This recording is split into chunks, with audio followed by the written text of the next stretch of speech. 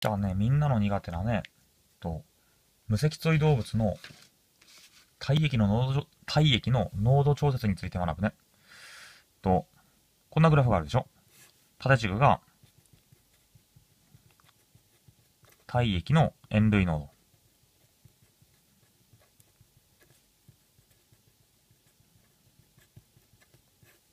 横軸が、外界の塩類濃度。で、こんな風なグラフを描くと、えっと、ど、生物によってどんなグラフが書けるでしょうかっていう問題なんですよ。で、例えば、えっと、これ瓶だったら、瓶、OK? 瓶だったら、外界の水がまんま中に入ってきちゃうんだから、外の水槽の塩類濃度、濃さを1にしたら、瓶の中も濃さは1になるよね。外の溶液がままんま入ってきちゃうから、濃度が等しいはずだよね。外のでっかい水槽の濃さ、塩類濃度の濃さを2にしたら、当然、瓶の中の溶液、ね、あのこれ、中に、瓶の中に水が入ってきちゃうわけだから、同じ濃さ2になるよね。そんなグラフを描くとどうなるかっていうと、1の時、1、2の時、2。で、3の時3、4の時4。ね。こんな風に、まっすぐな斜めの直線を描くよね。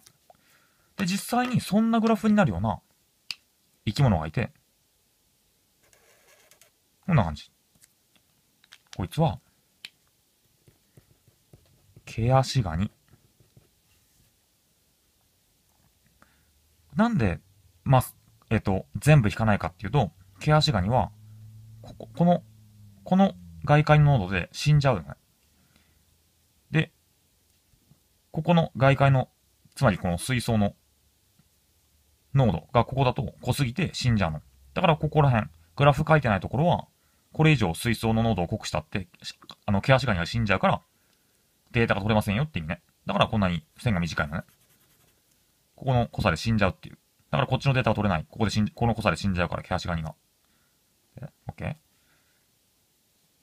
てことはこれ、ね、瓶と全然一緒で、外の外界の塩類濃度と大気の塩類濃度が常に一致する。ね。水槽の水を濃くすると、毛足ガニの体液の濃度も濃くなってくるっていう。ね。これ、濃度、濃度調節ができてないよね。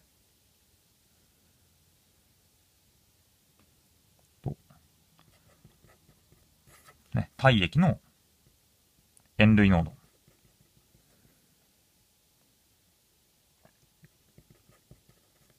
体液の塩類濃度の調節。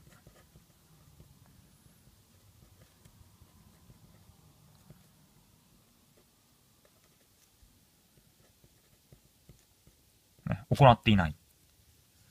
で、瓶と一緒だもんね。だけど、毛足ガニみたいなやつばっかりじゃなくて、実は、こんな風な、グラフを描く会もいて、こんな感じ。例えば、地中海、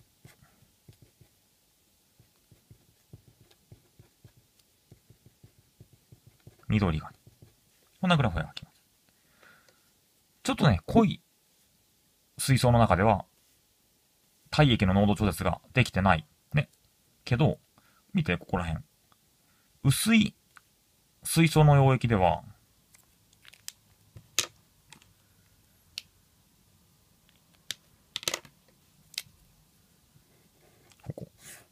薄い水槽の溶液では、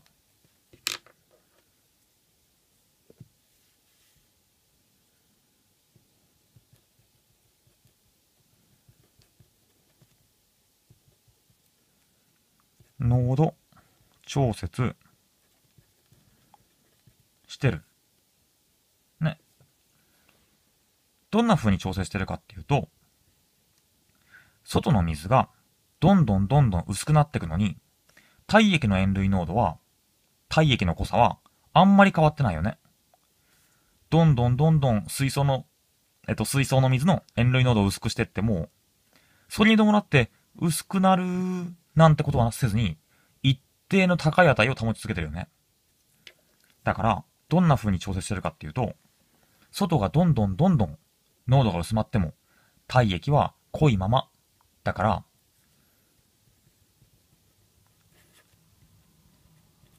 塩分を吸収して、さらに、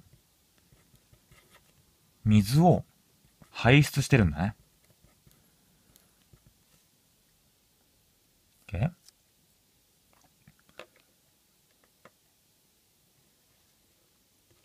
こんなカニもいるよ。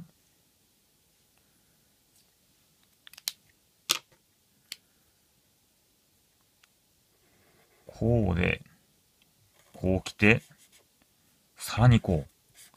すごいやつだ、すごいやつだ。どうですか？すごいやつだ。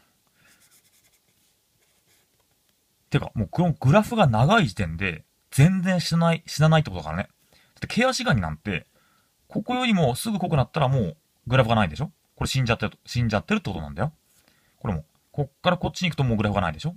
これ以上、外界の塩類濃度を低くすると死んじゃうってことだよ。ね。この黄色いグラフのカニは、全然グラフが長いってことは、どんな水槽の濃度でも生きてられるってことだね。これすごいね。木図ガニなんていうカニが、このグラフ描きます。木図ガニ。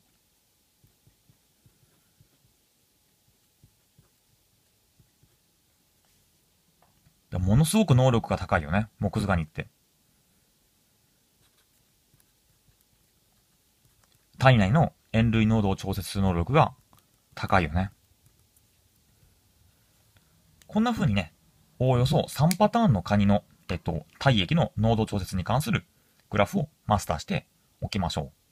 ポイントは、この斜めの線に沿ってしまってると、体液の濃度調節が行えないという意味になります。なんでかっていうと、瓶と一緒だもんね。それじゃあ瓶と一緒だよ。外が濃くなったら、それに伴って、体液の濃度も濃くなっちゃったら、ね、全然、えっと、体液の濃度調節なんてしてないよね。この斜めからずれてる方が調節してるんだよ。ね。しかもグラフが長い方が、いろんな濃度に対応できて、ね、いろんな濃度の中で生きてられるってことだよ。ね。しっかりマスターしましょう。